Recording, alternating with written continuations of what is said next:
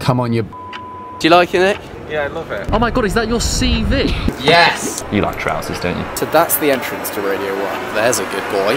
It's getting more and more traction. Oh, that is massive. Hi, Max Fosh. I'm Aled Haydn Jones, head of Radio 1.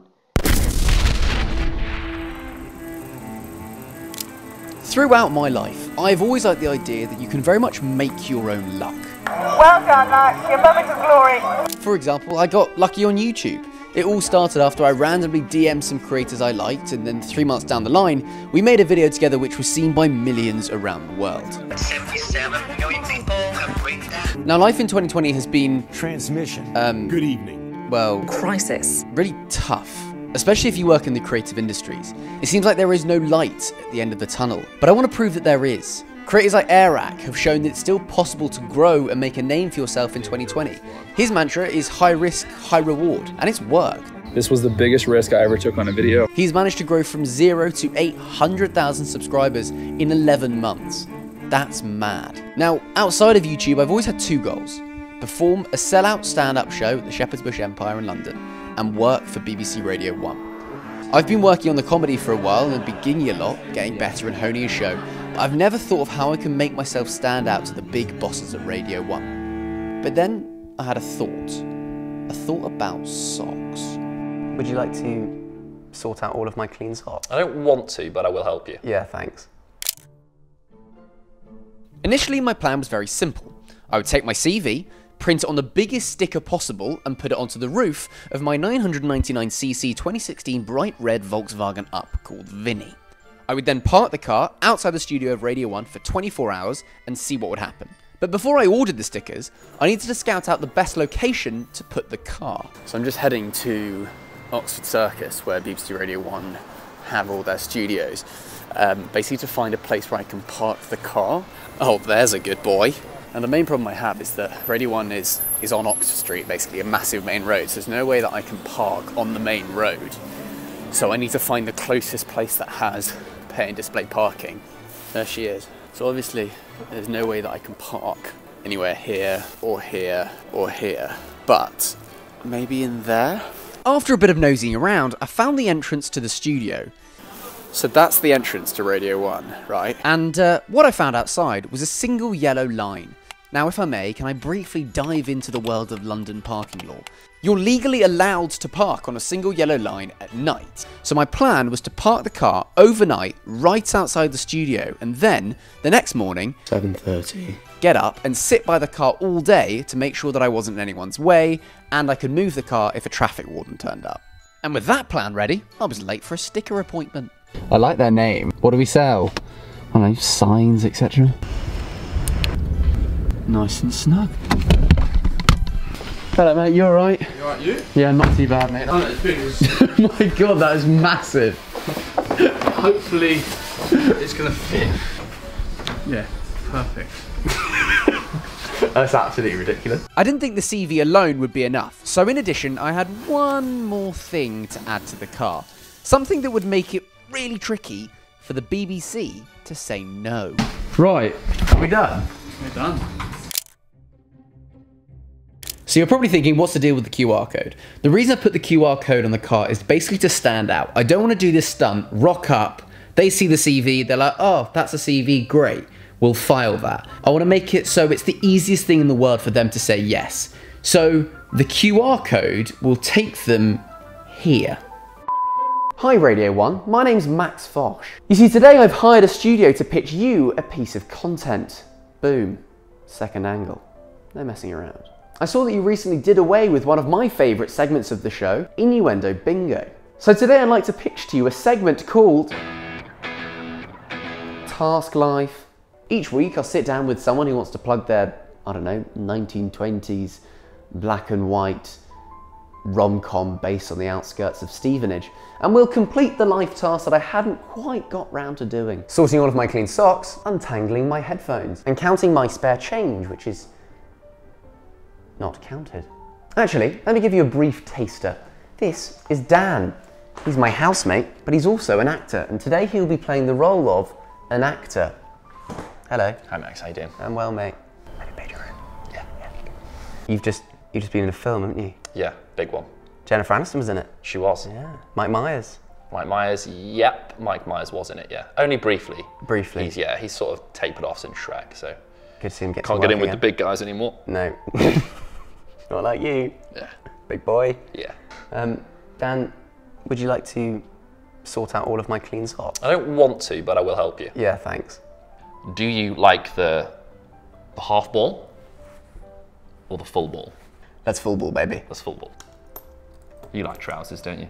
When you finish filming on a big show, big film that you've done, you know, Yeah. is there a wrap party? Yeah. Yeah. You talk about Jennifer Aniston. Yeah. Yeah. Wrap parties. She's going for it. Is she? Yeah, she's drinking fizzy pop.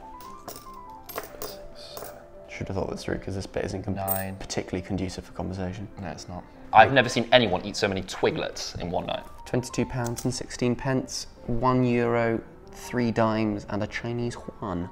It's just gonna be tug on one end, tug on the other. When you're doing press junkets, right? If you're doing the going through the wringer, Yeah. you normally get a lot of the same stuff, don't you? A lot of the same questions. Yeah. Is this a little bit different? Uh, yeah. Have you done this ever done this before in a press junket? Never bald socks with Max Fosh. See, it's original. Thanks for sorting my sock actor, Dan. Three. Yeah. Done. Dan, thank you very much. My pleasure. Would you like to um, Would you like to tell the lovely people where they can find your acting work? Yeah, sure. Um, I've not had a job this year. It's been really hard. Your, your Instagram? What's that? Um, don't bother. because I've not had a job this year. Just pictures of my living room, man. All I'm after, Radio 1, is to present some of your online content. And look, I've got the credentials, How much kale is too much kale? Never. and I won't be offended if you don't want to pick up Task Life. But send me to Big Weekend, send me to Glastonbury, send me out on the street, and I promise you some great content. Either way, drop me an email. Let's chat. So, the car was done and looking red, and the picture was up on YouTube as an unlisted video, which means that you could only watch it if you'd scanned the QR code. And just before I left for Radio 1, I wanted to show Dan my handiwork. Got a present for you downstairs. Yay. Oh my god, is that your CV? Miscellaneous. I ran the Great North Run. Hire me because I can do this. Then if they scan that QR code, Opening browser. Takes me to YouTube. it's good stuff. I've hired a studio to pitch you a piece of content. That's amazing. I've never used a QR except when I get coffee now. With Dan happy, I headed off on the journey to drop the car at Radio 1. So, I'm currently parked outside of Radio 1. Um, it's currently 5.30, so I'm basically just going to sit here until 6.30 until I can legally park on a single yellow line. I'm not sure if you've ever sat in a car and contemplated what you're about to do, but all I could think about was this. Why were we never allowed to turn the light on in the car when it was dark when we were younger? Honestly, I can see perfectly fine. And after I'd run out of life's biggest questions, it hit 6.30, so that was my cue to leave.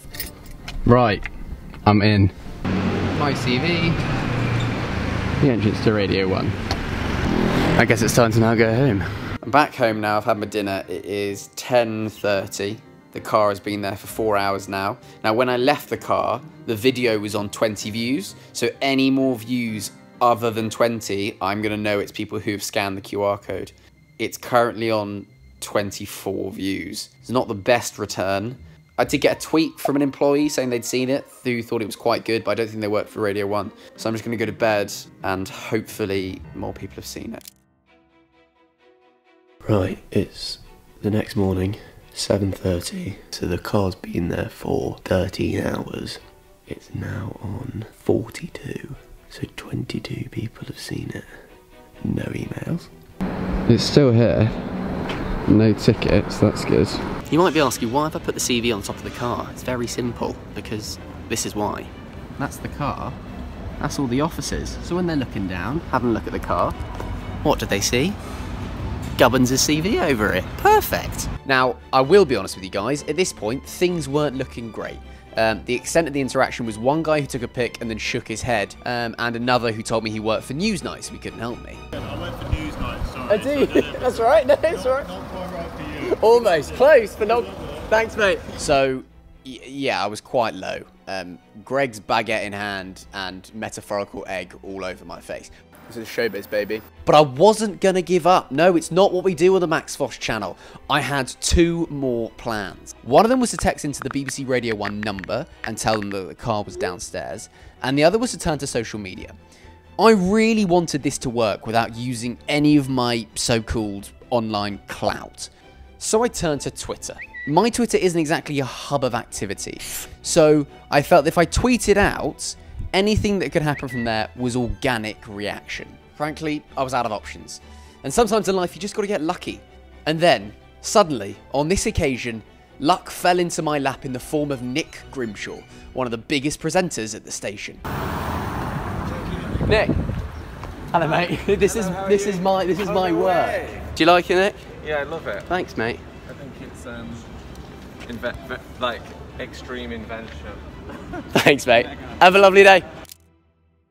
With the approval of Mr. Grimshaw, everything just, you know, clicked into place. It's getting more and more traction. The tweet started going viral with the biggest names in the industry talking about it. Presenters, musicians were all calling on the BBC to have a chat with the floppy-haired posh bloke outside. This is going a little bit mental now. Like, the Twitter views just keep going Scott Mills has just tweeted on it, saying great hustle. Thank you, Sir Scott. Not wanting to overstay my welcome, I headed home and shortly after I got back, I got contacted by the head of Radio 1, Aled Haydn Jones. Right, right, very quickly. Um, I've just got home. I've just set up the lights and the cameras because basically um, I've just seen that the head of Radio 1, the numero uno, the biggest Babybel in the box, has just tweeted a video reply to the tweet that I put out about the car being outside Radio 1. I haven't watched it yet. This is basically the make or break to find out whether it has worked and whether they want to get a bit of Max in their lives. Right, let's react. Hi Max Fosh, I'm Aled Haydn Jones, head Wow. of Radio 1. Wow. You see, I got your QR code and video. Boom, also second angle. Yeah! Go on, Aled!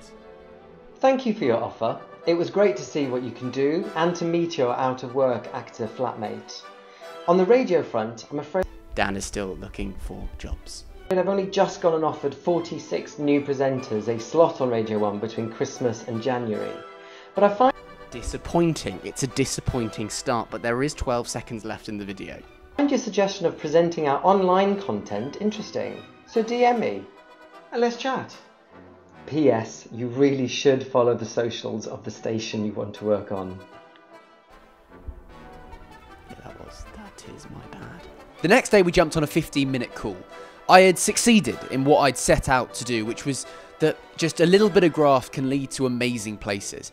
It's not about just doing some big stunt. You need to show why you're capable for the job. For inspiration, please go watch the Airrack episode on the Colin and Samir podcast.